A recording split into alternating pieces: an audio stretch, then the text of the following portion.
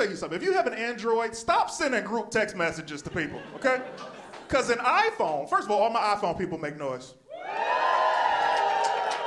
God bless each and every one of you, okay? Android people, you're not bad people, you just make bad choices. All right? Put it like this for those of you guys who have Androids, picture you having an Android as public school, and people who have iPhones are in private school. All right? Now, the education that all of us are getting is some bullshit, but our parents cared a little more.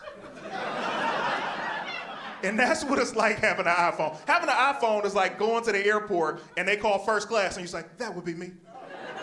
When you got an Android, they're like, hey, hey, hey, middle seat, get your ass in the back.